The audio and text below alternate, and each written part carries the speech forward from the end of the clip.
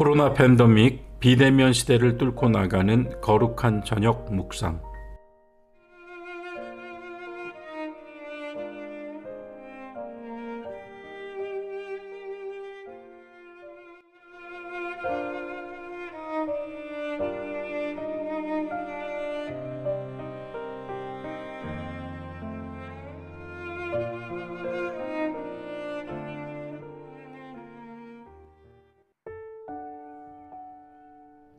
안녕하십니까 교회 여러분 9월 17일 금요일 밤입니다. 오늘 하루도 수고 많으셨습니다. 전에 우리가 고전 읽기로 함께했던 아시시의 성 프란치스코 이야기로 오늘은 시작해 볼까 합니다. 성 프란치스코가 설교를 하고 있는데 하루는 마당에서 제비들이 시끄럽게 지저귀고 있었습니다. 그런데 프란치스코가 자신이 설교를 마칠 때까지 조용히 해줄 것을 제비들에게 명하자 제비들이 순종하고 조용히 있었다는 이야기가 있습니다. 그리고 나중에 하루는 길을 가던 중 머리를 들어 길가에 나무들을 올려봤더니 새들이 크게 무리지어 앉아 있는 것을 어, 보았습니다. 깜짝 놀란 성 프란치스코가 동료들에게 이리 말했다죠. 여기 이 길에 남아서 날 기다려 주십시오. 내가 가서 내 사랑하는 형제 자매 새들에게 말을 건네고 와야겠소. 그렇게 새들은 성 프란치스코의 설교를 듣고 축복을 받은 후에 창공으로 날아갔다고 합니다. 성인전의 일화들입니다. 성 프란치스코가 새들에게 설교하면서 이렇게 말했다고 합니다. 그대 새들이여, 내 형제들이여, 그대들은 언제 어디에서나 하나님을 찬미해야 합니다. 하나님께서 그대들에게 마음껏 날아다닐 수 있는 자유를 주셨기 때문입니다. 그리고 아름답고 훌륭한 겉옷도 주셨습니다. 게다가 그대들을 하늘에서 살 수 있도록 해주셨습니다. 그러니 하나님께 감사해야 합니다. 그대들은 파종하지도 추수하지도 않지만 하나님께서는 그대들을 먹여 살리시고 냇물과 샘물을 마음껏 맛있게 해주시고 산과 계곡과 높은 나무에 보금자리 은신처를 마련해 주셨습니다. 그대들을 만드신 분께선 그대들을 정말 사랑하십니다. 그러니 그분께 감사드리고 언제나 열심히 그분을 찬미하십시오. 여러분 어찌 들으십니까? 단지 새들에게 또 짐승들에게 설교하고 기도해 준 것이 아닙니다. 성 프란체스코는 창조 세계를 지으신 하나님의 섭리를 보았고 그분의 섭리에 따라 각 생명에게 주신 하나님의 뜻을 전해준 것입니다. 그로써 하나님을 찬미했습니다. 조금 더 보겠습니다. 우리가 잘 아는 평화의 기도라고 하는 어, 성 프란치스코의 기도가 있죠. 노래가 있죠. 또 하나의 기도로 전해져 내려오는 것이 있는데요. 어, 현존하는 두 개의 기도 중에 하나입니다. 곧 태양의 노래라고 불립니다. 이 역시 꼭 다시 한번 여러분들과 나누고 싶습니다. 읽어보겠습니다. 지극히 높으시고 전능하신 자비로우신 주님, 지극히 높으신 분이여, 오로지 당신만을 찬미하나이다. 찬양하나이다. 흠숭하나이다. 경외하나이다. 그 누가 당신을 감히 부르오리이까? 오 모든 피조물아, 주님을 찬미하여라. 우리 형제 태양아, 그분은 너를 빛을 만들고 우리를 비추게 하셨지. 넌 얼마나 아름답고 반짝반짝 빛나는지 너에게서 높으신 주님이 보인단다.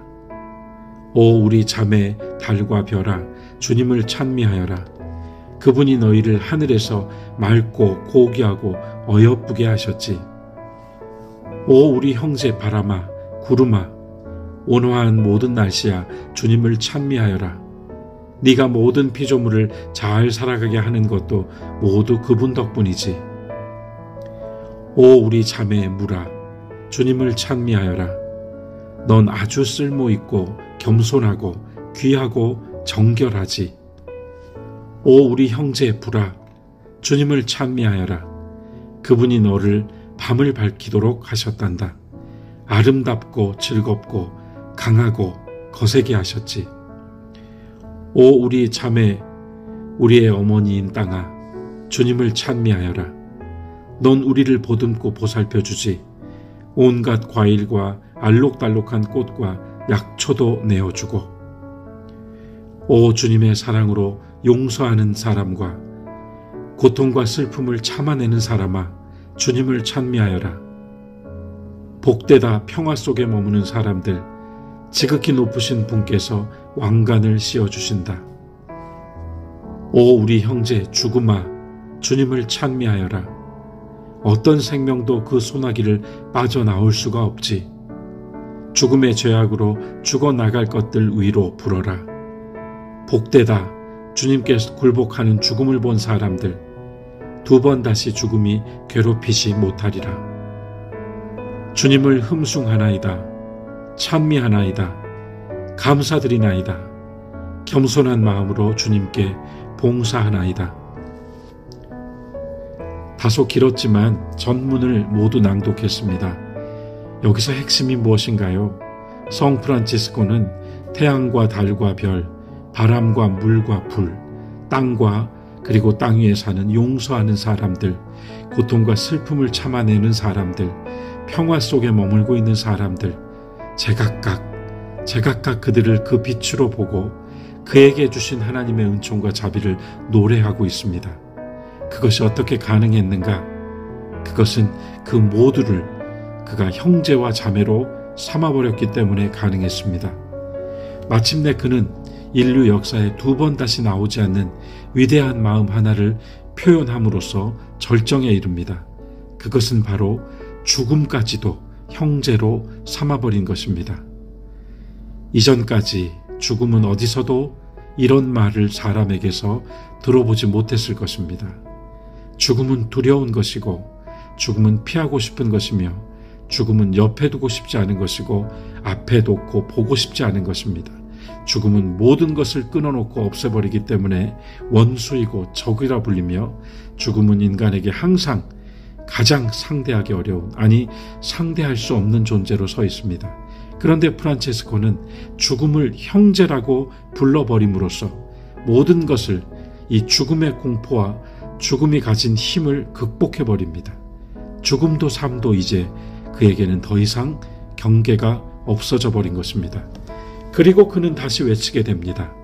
주님을 흠숭합니다. 주님을 찬미합니다. 주님께 감사드립니다. 그리고 겸손한 마음으로 주님께 봉사합니다. 오늘 말씀을 보겠습니다. 오늘 말씀은 마가복음 16장 15절 16절입니다. 봉독하겠습니다. 또 이르시되 너희는 온 천하에 다니며 만민에게 복음을 전파하라. 믿고 세례를 받는 사람은 구원을 얻을 것이요 믿지 않는 사람은 정죄를 받으리라. 아멘. 주님은 구별하셨습니다. 믿고 세례를 받는 사람은 구원을 얻을 것이요 믿지 않는 사람은 정죄를 받을 것이다. 주님은 단호하게 양단으로 이 구원의 문제를 어, 가르쳤습니다. 그럼으로써 중간은 있을 수 없다는 것을 명확하게 하셨습니다. 이쪽과 저쪽으로 발을 두고 살 수는 없는 것입니다. 믿고 구원을 받을 것인가, 믿지 않고 정죄를 받을 것인가의 선택만이 놓여 있게 된 것입니다.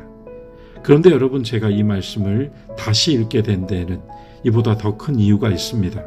그것은 바로 앞에 있는 15절, 온 천하에 다니며 만민에게라고 번역된 부분 때문입니다. 우리의 성경책 어, 그 페이지 하단 각주를 보시면 이것을 알게 됩니다. 만민에게 라고 번역된 히라보의 원뜻이 그 각주에 실려 있습니다. 그 원뜻은 바로 모든 창조 세계입니다. 그러니까 마가복음에서 주님은 제자들과 믿는 사람들을 향하여 우리들을 향하여 정말 상상도 하지 못했던 사명을 위임해 주십니다. 그것은 너희는 온 천하로 다니며 모든 창조물들에게 복음을 전파하여라. 저는 아시시의 성 프란치스코가 여기까지 보았으리라고 생각합니다. 그리고 그의 눈앞에는 더 이상, 더 이상 그 앞에 서 있는 것들, 그 앞에 놓여 있는 것들이 적도, 원수도, 미운 자도, 장애물도 아니었습니다. 그의 눈앞에 있는 것들은 모두 이제 주님의 복음을 전해야 할 형제요, 자매로 보였던 것입니다. 얼마나 축복받은 눈이며 얼마나 기뻐할 마음이며 얼마나 아름다운 존재가 되었습니까? 그가 얼마나 기뻤으면 다시 한번 외쳤겠습니까?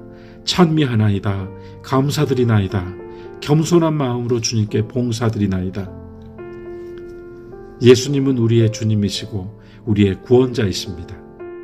1950년대 세계교회협의회는 어, 세계교회협의회라고 하는 이 조직이 무엇인가, 우리는 어떤 모양으로 이 교회 협의회를 이끌어갈 것인가를 놓고 전 세계 교회의 대표들이 굉장히 진지한 토론을 진행하게 됩니다. 그러면서 우리가 함께 모여 있는 이 공동체는 저 로마 카톨릭과 같은 또는 기타 다른 교파와 종파들과 같은 그런 머리가 있는 조직이 될 수 없다. 그리고 하나의 틀과 제도 안에 모두를 묶어 놓는 그러한 어, 떤 단체가 될 수 없다라고 하는데 의견을 같이 모으게 됩니다. 그래서 세계 교회가 함께 결의하고 결정한 것이 무엇이었는가 하면 누구든지 어디에 있든지 나라와 인종과 민족과 모든 경계를 넘어서서 예수 그리스도를 우리의 주님으로 동시에 우리의 구원자로 고백하는 모든 믿는 사람들과 교회들의 fellowship 어떤 어, fellowship이라고 하면 뭘까요? 동료의 동료들의 관계, 친구의 관계 뭐 이런 거 아니겠습니까? 그래서 어, 교황과 같이 또는 감독과 같이 머리가 있고 그 밑으로 어, 어떤 계급 체계 안에서 구성되는 조직이 아니라 친구들의 모임 이렇게 정합니다. 예수님을 주로 고백하고 구원자로 고백한 모든 사람들이 친구로 만나는 모임. 얼마나 아름다운 정의를 내려줬나요? 개신교회의 세계적인 모임은 이와 같이 자신들의 정체성을 정의했습니다. 우리도 역시 예수님을 주로 고백하고 구원자로 고백합니다. 디모데 전서에서 사도 바울이 증거한 대로 그분은 하나님과 우리들 사이를 이어주시는 유일한 중보자이십니다. 그분은 만유의 왕, 만주의 주이시기 때문에 우리에게 이런 엄청난 사명을 맡기실 수 있는 것입니다. 그분이 우리에게 맡기셨다는 것은 그것이 그분의 뜻이라는 말씀이겠죠. 모든 창조 세계에, 모든 창조물들에게 복음을 전하라. 우리는 바라보고 아름답다고 경탄하며 그저 누리고 즐기고 또한 거기서 거두고 열매 맺혀서 먹고 마시는 그 모든 것들을 향하여 우리가 파헤치고 이용하며 사용하는 모든 것들을 향하여 주님은 생명의 복음을 전파하라고 맡겨주신 것입니다. 이것은 창세기에 청직이라고 하는 어떤 사명보다 더 귀한 사명으로서 우리 앞에 놓여 있습니다. 마태복음에서 예수 그리스도는 왕이십니다. 해서 그분은 마태복음 28장에서 제자들에게 사명을 주실 때 뭐라고 말씀하십니까? 아버지와 아들과 성령의 이름으로 세례를 주고 내가 너희들에게 분부한 모든 것을 가르쳐 지키게 하라. 그때 나오는 말씀이 그들을 제자로 삼으라입니다. 그렇게 명령하셨어요. 마태복음에서는. 그로서 마태복음에서 제자들과 우리가 받은 사명은 모든 사람에게 어, 세례를 주어서 어, 제자로 삼고 그들을 주님께로 하나님께로 이끌어오는 것이었습니다.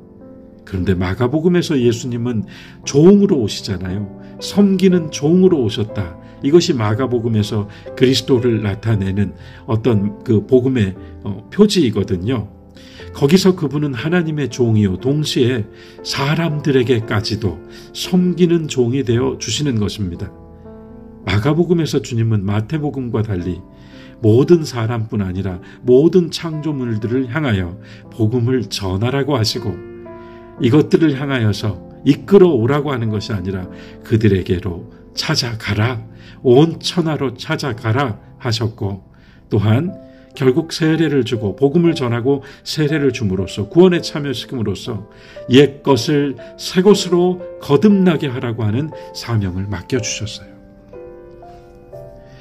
마태복음에서는 제자 삼음으로 이끌어오고 불러들이고 그분의 나라를 세우라는 사명이었다면 마가복음에서는 그들에게 가서 전해주고 축복해주고 사람뿐 아니라 모든 것들이 옛 것에서 새 것으로 거듭날 수 있도록 그들을 섬겨주라 하시는 명령을 내리신 것입니다.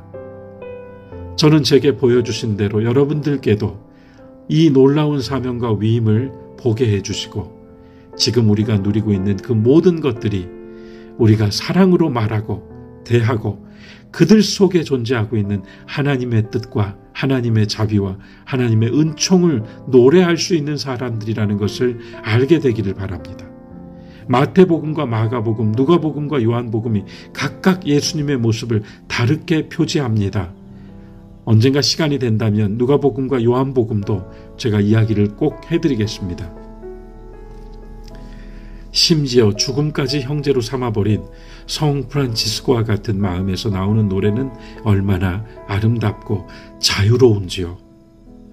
그런 마음, 그런 영혼으로 살아가는 사람에게서 진정 자연을 지키고 창조 세계를 보존하고 하나님의 세계를 가꾸고 일구며 돌보고 생명을 새롭게 하는 사역, 평화를 위해 일하는 사역이 나오지 않겠습니까?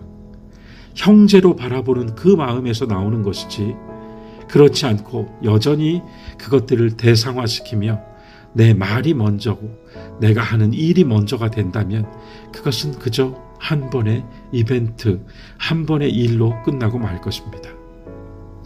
우리가 경험하듯 진정으로 섬기고 봉사하며 사랑하게 될 때에는 내가 섬겨서 도와준 그 사람뿐만 아니라 오히려 섬긴 내가 아니 섬긴 내가 더 큰 은혜를 받기도 한다는 것을 우리는 간증할 수 있습니다.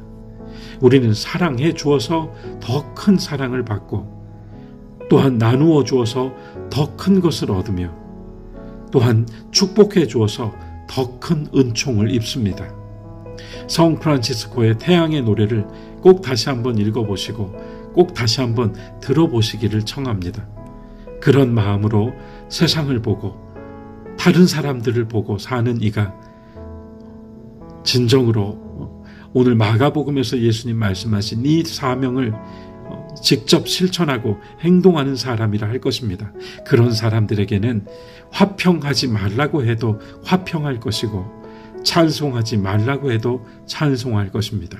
그리고 그것이 한 사람의 세상을 살면서 가장 순결하고 가장 아름답고 가장 귀한 일이라는 것을 제3, 제4로 느끼며 그것을 증거하는, 증언하는 삶이 될 것입니다. 우리는 여전히 할 일이 많습니다. 우리는 여전히 만나야 될 사람들 뿐만 아니라 다가가야 될 것들이 많습니다.